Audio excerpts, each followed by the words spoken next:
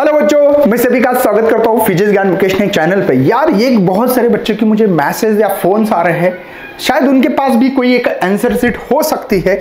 जैसे कि मैं दिखाना चाहता हूँ, बहुत सारे बच्चों को आंसर सीट जैसे कि इसके ऊपर प्रैक्टिस करते हैं।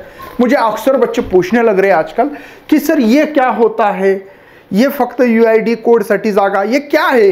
ये कोड मतलब कुछ यूज़ है क्या? तो मैं बताना चाहता हूँ, बच्चों, ये आपके लिए नहीं है, मैं आपको रियलिटी में दिखा देता हूँ, ये कोई भी यूज़ नहीं करेगा। कहाँ?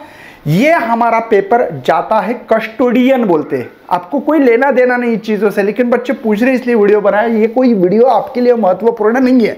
ठीक है? ये नहीं यूज़ करना चाहिए बच्चों आपके आपका कोई यूज़ नहीं है कस्टोडियन के पास पेपर जाता वो पेपर का यहाँ पे लगा देते जैसे आप लोग बारकोड लगा देते हो बच्चों सेम ईयर। जैसे आप लोगों ने बारकोड निकालते हो, डालते हो, वैसे सेम ऐसा ही बारकोड उनके पास होता है कस्टोडियन वो लगा देते हैं। मतलब कौन से कस्टोडियन से पेपर आ रहा है है ना?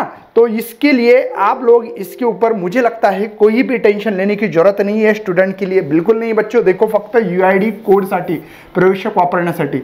या हमारे लिए नहीं है। बारकोड ओनली हम लोग यहाँ लगाते हैं जैसे कि ये जो होता है, ये टीचर हमारे पास देता है, या टीचर ही लगवा देता है, ऐसे ये तो मैंने बता दिया था।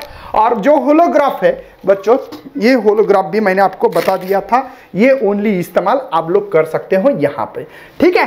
तो इस चीज़ का कोई लेना देना नहीं है। ये यूआईडी कोड क्या है, क्या नहीं है, इसलिए टेंशन मत लो। तो पेपर के लिए अच्छी तरह से प्रिपेयर हो चुके हो।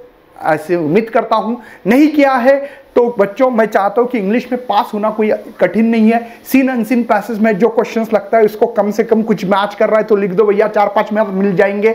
बीस मार्क प्रैक्टिकल के है। थोड़ा सा राइटिंग स्किल का करके जाओ। उम्मीद करते कि सब लोग अच्छी तरह से नंबर लेंगे। फेल होने का डर नहीं है। मन में बस हाथी पे छाती पे हाथ डाल के बोलना है, भैया, एक बार ऑल इज़ वेल तो चलो best luck and bye and thanks for watching this video